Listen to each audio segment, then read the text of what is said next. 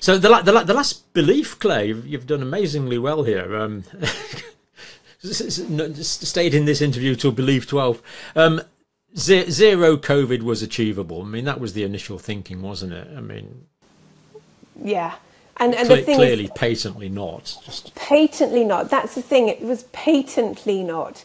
So you know the the argument that you know, we, we have, in theory, rid the world of two diseases ever, right? So there's smallpox, and you know, I mean, even right there's smallpox and then there was rinderpest which is a, a, a i can't remember what kind of animal gets it what, what, what is that one? I don't know that one. it's a viral disease in some kind of herding animal Oh, okay. So some sort of animal virus, right? I didn't know that one, right? yeah Right. yeah so I mean, the and- and smallpox that- one is genuine. I mean, it's it's it's alive in Porton Down and a few other places like that. You know, but uh, So smallpox, I do find quite a, quite an interesting topic, and and I don't have the answers on it all, and I haven't looked into it in that much depth. But the story we were told is that smallpox is a really stupid virus, right? So it's very very slow. It has a 14 day incubation period before you become infectious, and then when you during that incubation period, you're covered in pox. So, like, it's really, really obvious to the world around you that the diagnostics is easy. You don't need a test, right? There's someone with smallpox. And so people would go and do what they called ring vaccination, where they would find the person with pox and inject the vaccine all the people within that group so that they were then immune. And so they were, by the, you know, by the 70s, really smallpox only existed in little pockets of rural Africa in the jungle, and these these WHO groups were going around doing this ring vaccination, and then they declared that it had been eradicated. There was a sort of six month period where they didn't have any, and they said, right, we've done that, that's eradicated. At around that time, monkeypox appeared in the rural areas of the jungles of Africa, and the monkeypox is clinically indistinguishable, except that there's apparently sometimes more lymphadenopathy. But you know, sometimes more lymphadenopathy, you can't distinguish it clinically. And it responds to the same vaccination, and it's a very fairly similar virus. it, they use a smallpox vaccine against monkeypox, yes. Um, and, you know, the argument would be that on an electron microscope they look different and that genetically they're different. But I, I'm not completely convinced by these arguments because, the, for, for a start, what you're comparing it to is laboratory based smallpox, which has been in a lab in cells for long enough for it to be genetically different. And second of all, the other the, the other source of smallpox genetics is from uh, I think it was an Icelandic girl who was found in the ice from 17 something, who had died of smallpox, and they've got this sample that was quite well preserved. They've got the genetics of smallpox from that, but that genetics doesn't look much like the one in the lab either. So you know, I'm not really convinced that monkeypox is so very different from smallpox. Yeah, and, and the vi- the viruses change over time, and diseases be diseases co- diseases come and go. I mean, Right, I might be wrong, but I do think that that story yeah, was overhyped. it, it, it, it, it's it's uh, it's a good story, um, but it's And I mean, ultimately, smallpox disappeared from the Western world with sanitation Yeah. and nutrition. Sanitation and nutrition Yeah. made enormous impacts on that disease, um, absolutely huge impacts. And the in the UK, people were using variolation earlier on. Yep. So would, you know, doctors would go to find somebody who had smallpox and take some of the pus onto a rag of cloth variolation actually giving people the infected pus. Right, infected pus, but infected pus that was in a little glass vial Mm. in their jacket pocket for weeks. And then they'd find some child that wanted to be, you know, the parents wanted them variolated, and they would make an incision in the skin and shove some of this rag in. Some of them did it with a thread. They would thread it through with a needle and leave the pussy thread in. Now, that's a bacterial um, culture you've got there. Yep. The idea that you have somehow preserved virus in that pus, I, you, you've just put all sorts of nonsense into that child. And so people would have all these rituals around praying to, so, so their child didn't die from this because some of them did. So you know, that people were killing their children with this variolation to protect them from smallpox, um, which meant that the smallpox vaccine was not just saving people from smallpox, it was saving them from this variolation ritual that they had that was horrific, really horrific. But the smallpox vaccine itself, originally in the 1700s, was um, they would collect what they called lymph from the cows, yeah. right? And they had they weren't keeping this in laboratory conditions. It wasn't refrigerated. It, and each one of these doctors would have their own special recipe and their own lymph. And um and yeah, that's what they would then inject people with. And actually, if you read Edward Jenner's original thesis, it's quite short. It's a few case reports, um, and he he describes how his opening line is everybody knows that old wives' tale that cow- cowpox can stop smallpox isn't true because we've all seen, you know, milkmaids who've had cowpox and they've got smallpox afterwards. But I think I've discovered what will stop smallpox, and it's a special type of cowpox. It's not your regular cowpox. It's a cowpox that's caused only in farms where the men clear out the dirty horses' hooves and then they come and milk the cow. So only where the men are sharing the milking and they leave behind a pox on the cow that the milkmaid catches, and that protects them from smallpox. And I'm going to call it horse grease cowpox. It's absolutely revolting, and he wanted to cut out the middleman and inject the, the gunk from a horse's hoof directly into the children. That was his grand plan. And somebody saw that he had this idea that was going nowhere because people were revolted by it. And they thought, hey, this could be our route out of this horrible variolation nightmare and they made him into this high priest, and they absolutely you know, gave him tons of money, tons of money and prestige, and he went along with it. So the, the, the idea that he took the pus from, I mean, I remember the name Sarah Nelmes and gave it to James Phipps so that the cowpox pustule was on the milkmaid's arm. Is that is that a? Oh, I think myth? he did that. he did, he did do that. that. But the thing is, you see, with smallpox, um, as with all infectious diseases, not everybody was susceptible. So if you look at smallpox waves in epidemics across the world, yeah. It, you'd have a, a, a, wave, and lots of people would die. It was a really it could lethal if you're malnourished and oh, have yeah. sanitation. But it wasn't going through the whole population; it was going through a fraction of the population. So if you've only got you know ten percent, fifteen percent who are susceptible to it, then when you're doing experiments to prevent it, you need big numbers. You can't prove you've prevented something with mm. a hand cases. Yeah, yeah, yeah. So basically, um, will we will we eradicate COVID or? Well, yeah. what's going to happen in the next 10, 20 years? There a little bit, didn't we? Um, so you know, with no, no, no, it's, virus, no, it's good stuff. Love it. With the respiratory virus in the air, you can't eradicate it because it's spreading through the air. And with a respiratory virus that has multiple animal hosts, you can't eradicate it because it will still be in the animal reservoirs. And with a respiratory virus that has, you know, quite a short incubation period, you can't. So there's, there's like tons and tons and tons of reasons why it, it falls under the category of something that you can't do anything about.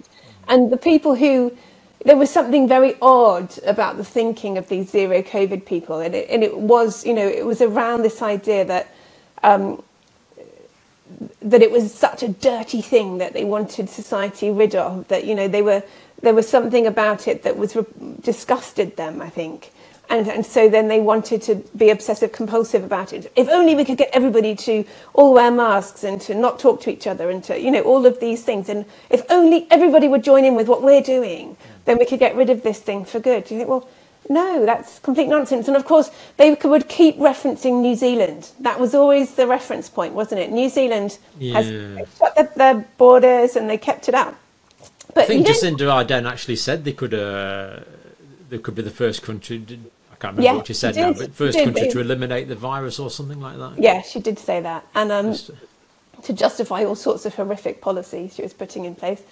Um, but if you look at the world as a whole, there was something going on in Southeast Asia and Oceania for the pre Omicron variants. There was no exception, right? It didn't matter what the rules were in any particular country. You can't point to a region or a country that had a problem with the pre Omicron variants.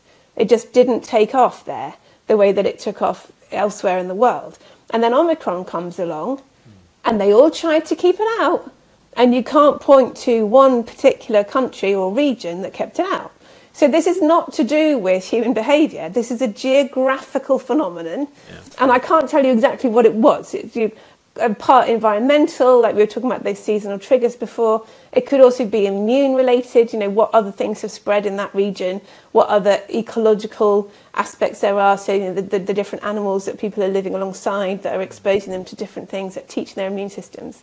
But it was a geographical phenomenon. It was nothing to do with human behaviour. Yeah, we've got these huge geographical phenomena, this huge seasonality, Mm-hmm. and um, we're, we're just passengers in that.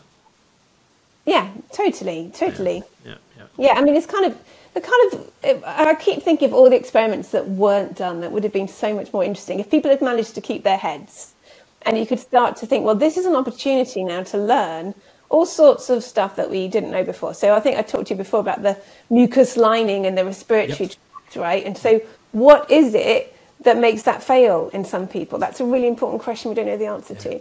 Um, and then you could also answer the question well, if you take somebody from New Zealand and you bring them over here during a wave, are they going to be susceptible? Or is, you know, so is it being in New Zealand or is it them? What's the, what's the Yeah. factor there? Yeah, yeah, yeah. Or, or, or some of my mates from Uganda or Kenya, um, Yeah. who, who most of them never even notice having it or had a minor cold. Or, Yeah, yeah, yeah. And which, you know, it's a place that never really has a problem with flu either. So the nearer you are to the equator, the less of a problem flu is. And, and, the, and the, the more spread out the trajectory of flu. You don't get these sharp spikes. And the further away you are, the sharper the spikes. So if you go right up to Scandinavia, then it's all compressed into the tiniest of time frames compared with even here. Interesting. So so much to learn about the, these patterns of disease that we still don't. And diseases can come and go. I mean, I think I've got the year 1827 for the first for James Parkinson first identifying Parkinson's disease. Okay. Before that, it didn't seem to be in the historical record. You know, a lot of diseases you can go back and say, "Oh, this was probably this, that, or the other," but Parkinson's disease doesn't seem to have been there. It seems to be a new disease, and other diseases. I mean, when when I, when I was a junior psychiatric nurse, um, we used to have uh, p- patients with uh, catatonic schizophrenia, and now the disease just seems to have disappeared. I'd always assumed that was that was drug related. Like No, no, there was there was a group. we- we- So in schizophrenia, they were called simple, hebephrenic, paranoid, or, or catatonic. And we had these. They were they were old at the time, but they were catatonic. They were called catatonic schizophrenics, and they would take it. They would adopt a, a bizarre posture. There was only a few of them left when I was there. They were, they were pretty old. This is the mid late seventies. But the, the the older staff used to tell you about them. They'd stay in a particular position, lying cross-legged on the floors, and then all of a sudden they'd have like have, like jump up and have a manic episode. right. Um, I, you don't, don't. think it's being treated with No, no, no, because it, I mean, chlorpromazine came in 1957, and it, it predates that. So Okay. I, I, I think it's an expression of institutionalization in some way, or, or there are chemical changes in the, the, the way that we interact with diseases. Um, but it, it is strange that it just seemed to have come and. It's all very strange, but of course, psychiatry is a nightmare anyway. It's, it's defined Yeah, by what's in the of diagnostic and statistical manual. Oh, completely. The diagnostics is, is a is a. I mean, it's easy to say it's a mess, but I don't know how to do it better. You know, it's one. It was just a challenge. It's a challenge, Yeah, yeah. I would say. Yeah, Um, but with the Parkinson's disease, I'd have assumed that was because people were putting them into a broader bucket of something else. So you can always have a new disease if you're if you're chopping up your buckets into smaller fractions. No, I think I think Parkinson's disease probably is a specific toxic effect on the substantia nigra cells. right.